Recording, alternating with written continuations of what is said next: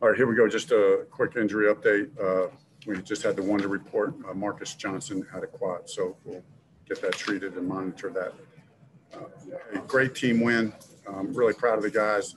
We know these tough division. We know these division games are always going to be tough. Uh, we got a lot of respect for this team, and uh, they got great players, and um, so it was a tough contest. Here's what here's what we just talked about in the locker room. What what I'm most excited about is, you know, in the fourth quarter of that game, when the game is on the line, is that we made plays in all three phases. We make a 53-yard field goal in the fourth quarter. We have a long game-winning drive uh, to go up uh, in the fourth quarter, and then we get the defensive stop on the last drive. That, that's what that's what playing December football. Um, that's meaningful. That's what it takes uh, to continue to build the DNA and, and who we are and where we believe we're going. So, a lot of good things we did, but we're always reminded that um, shoot, we played good in all three phases and did a lot of really good things, and it's still a close game. That's the way these that's the way this league is. So, we got to continue to improve, um, and, there's room for improvement. So, we'll look at the film and we'll evaluate uh, you know, what, what we got to do to get better. We know we play another tough AFC opponent this week on the road, so we'll lock in and uh, learn from this game and get better. All right, Greg Doyle. Hey, Frank, thanks for the update on what you guys talked about. I want to take you back about 15 seconds before you start talking, or 30 or whatever. What was that locker room like when you walk in there to win that game like that? Yeah, it was, it was, you know, guys fired up really guys who believe in one another, guys who are excited for one another, guys who you know believe we're we're going somewhere, and um, but that nothing is given to us, and you got to earn every bit of it um, each week. So um, you know we know that this this marathon is not over. So you know you felt, Greg, you felt an excitement, a, a, a real big excitement, but you also sensed a focus of hey, we still got a lot of work to do. We still got to get a lot better. Mike Chappell. Frank, can you remember two games in three weeks where fumbles at the goal line have, have, have gone this way for you? It's crazy. I mean, it's crazy. Obviously, uh, you know, real credit. I think Darius caused the one today, right? Is that right? Right. Um, you know, just a great play by him. Uh, you, you, know, he, we know he gets so many strip attempts, but um, I thought the defense did a good job, right? That last drive, even though they moved the ball down the field, we kept the pressure on them. Um, obviously, we got to avoid that penalty to make it even harder. But you know, playmakers make plays in the clutch when it's needed. And as you said, Chap, I mean, against this team to have these two games end this way, uh, it's, it's, it's crazy. Frankie, just a real quick follow up. The play with Ty, did you guys think with your alignment you were going to get him on a linebacker like that? Yeah, no, I really credit, you know, Nick and the offensive staff. You know, that's a play that we had put in, you know, trying to get uh, you know, against the coverage that we ended up getting it. And, uh, you know, unfortunately, we got in a long yard situation. And, uh, you know, just, I was just, it was just a gut feeling, you know, that we just had to make a play and had to, had to take a shot. I mean, there was one thought to just try to get back in field goal range.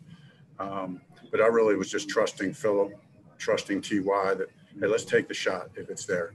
Let's see if we can get the coverage we want and get TY isolated like we wanted to and if it's there, let's take it. If not, then you know let's work underneath, try to get some yards and get back in field goal range if, if that's what we got to do. Thanks, Frank. Phil Erickson.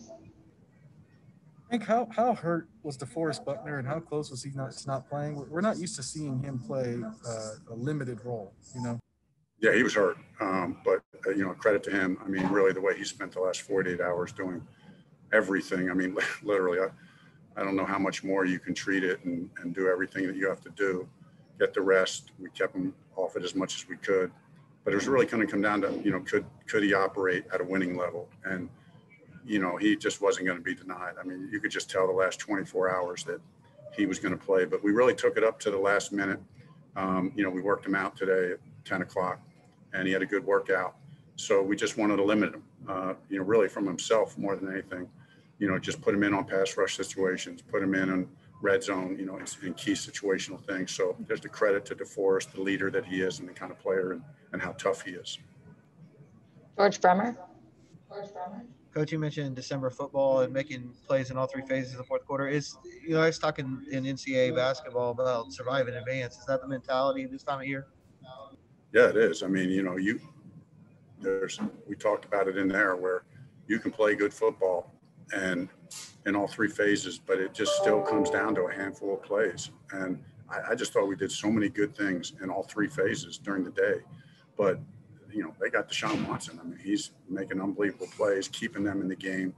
And we make one or two mistakes, and all of a sudden, you know, obviously it all, you know, we started out on fire uh, in all three phases and and they fought back into it. That's a credit, you know, credit to them. But as you said, in, in the fourth quarter, you just got to believe, and then you got to come up big in the clutch. All right, we'll go two more. Kevin Bowen. Frank, on the challenge, sometimes you see hesitancy in challenging spots. What made you challenge that? And then on the Pascal touchdown, any sense of trying to play the clock game there, or is it just score whenever? Yeah, um, the challenge was just, you know, really it was a gut, it was a gut feeling. You know, I mean, it's a it's a no brainer if it's third down, but you know, really where they were still going to have a chance, they were going to have th- third and short. Um, you could have easily argued about not challenging it, but I don't know, it was gut feeling. And what helped me was, uh, believe it or not, this doesn't happen very often. There, there were about four or five players, you know, that really brought it to my attention. Right? I mean, up on the screen, it showed it, and then really just had a split a split second to make that. To, are we really going to? Am I really going to challenge this right here, um, where they still have? It's going to be third and short, and um, I don't know. It was a gut feeling, and then we make a great play to draw them off. You know, make them have a legal procedure, and that, that turned out to be big. So it was a great job by the defense getting the stop. And then the Pascal touchdown, was Yeah. there any thought run more clock?